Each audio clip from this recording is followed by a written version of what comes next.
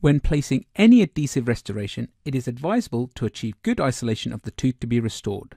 As Cention Forte is a basic filling material and a great alternative to amalgam, a relative isolation of the mouth is adequate.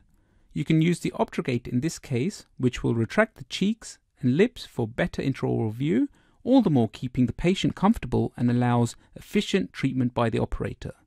The use of buccal pad, cotton rolls, and a saliva ejector is recommended to reduce the saliva contamination. The cavity preparation design is defect orientated, therefore no undercuts, grooves, or further healthy tooth tissue removal is necessary. All sharp edges and angles should be rounded off. Since the cavity preparation design is defect orientated with no macro retentive design, an adhesive primer is necessary for the micro retention of the restoration. In this case, we use a self-etching, self-adhering and self-curing Cention primer. Dispense one drop of Cention primer into the dampened dish, such as a VivaPad. Once dispensed, make sure to replace the cap immediately. Dip the provided Cention Primer single-use applicator into the liquid and stir for 5 seconds.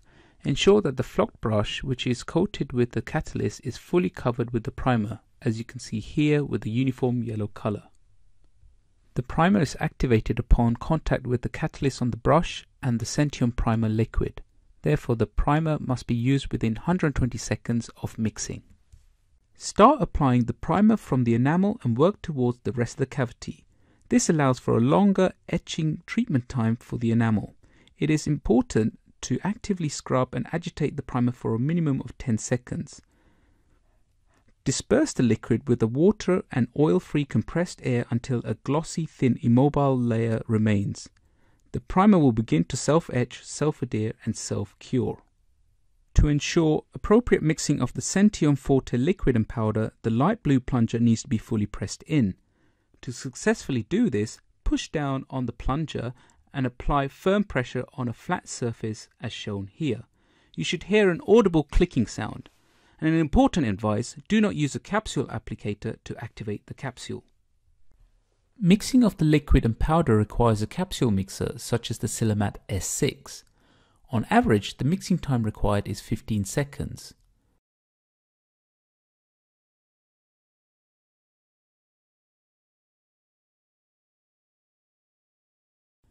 Once you have inserted the capsule, make sure you close the lid before beginning the mixing process.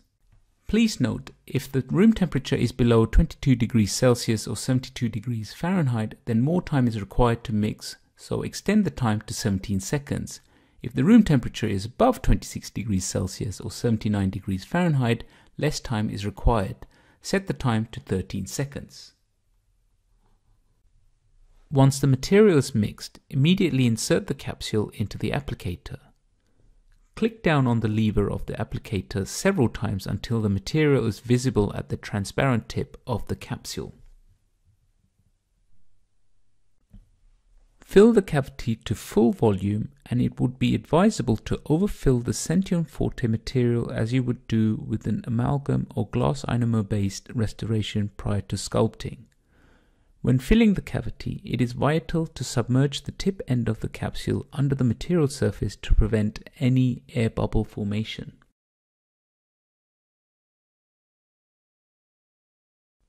Gently pack and condense with an instrument like a ball burnisher.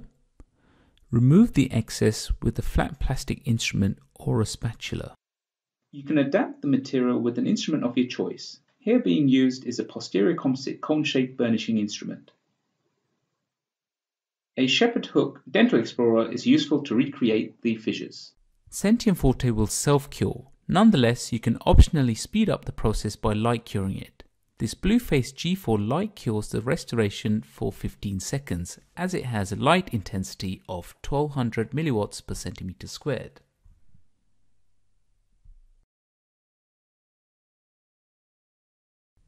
Polishing is not necessary but a final finish can be done with a tungsten carbide or a fine diamond burr.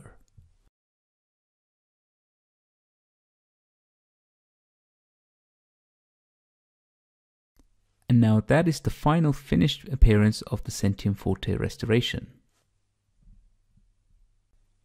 And finally, when removing the OptraGate, be sure to use a tissue in front of the mouth to avoid the saliva splattering all over.